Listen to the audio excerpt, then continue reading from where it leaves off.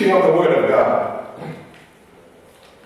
In this sermon, we are not dealing with the issue as to whether the keeping of the Ten Commandments should be regarded as a means of salvation or as a way of obtaining righteousness or justification.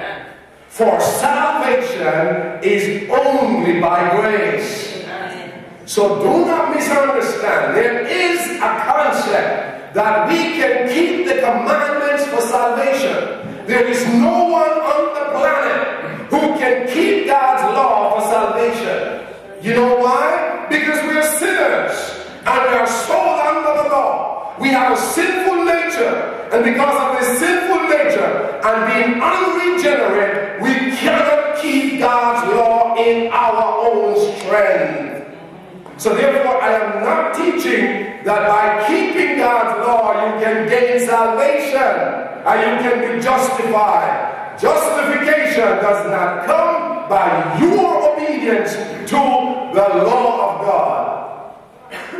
No one can save him or herself by keeping the Ten Commandments. God has declared a decree in Romans 3.20 that by the deeds of the law shall what? No flesh justified. By the what? Deeds are the works.